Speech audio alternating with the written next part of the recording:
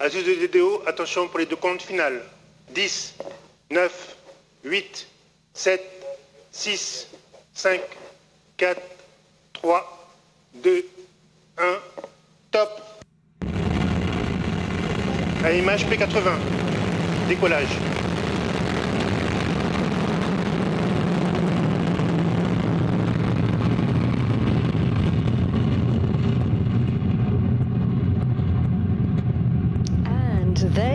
Are off.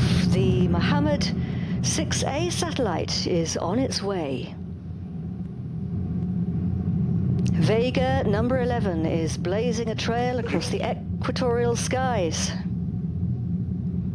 Over the Guiana La Space Center. He's telling, the, telling us the propulsion is normal. We're heading direct north, out towards the Caribbean. We broke the sound barrier and reached Mach 1 after 30 seconds, Acquisition de la mesure pour la station de Saint-Jean-du-Maroni. picking up the signal at the station in Saint Jean du Maroni, which is here at the Space Center or just outside it. We can hear the rumble of Vega reaching us. The job of the first three La propulsion est stages normale, le pilotage est calme. Is to get us away from the Earth. Vega is pushing itself away from gravity. And we need a lot of firepower to do that. We're burning the P80 first stage. P for premier étage. It's all going normally according to plan. Premier étage means first stage. 80 is the mass of propellant.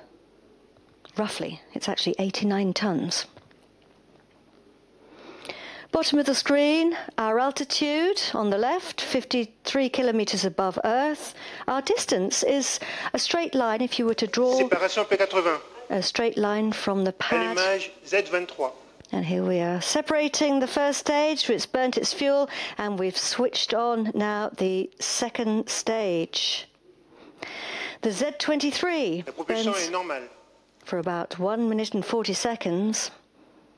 Z for Zefiro, which is an Italian wind, a bit like the Sirocco or the Mistral. 23 because it burns 23 tons of solid propellant.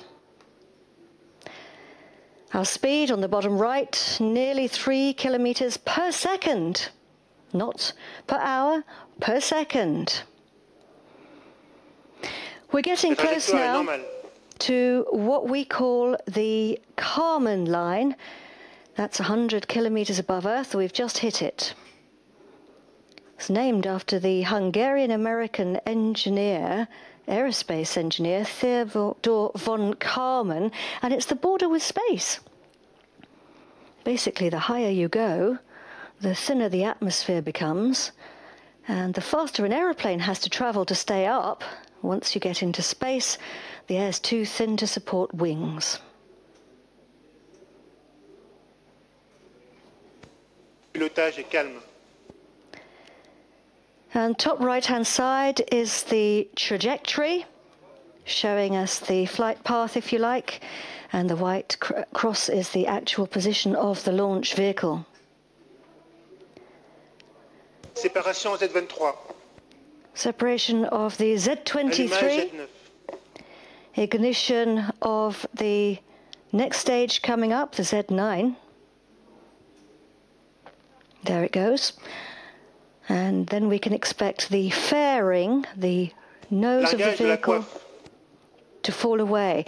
So we no longer need the fairing because we are effectively in space. We don't have enough friction anymore to cause us any difficulties, so the satellite is safe to be exposed to space.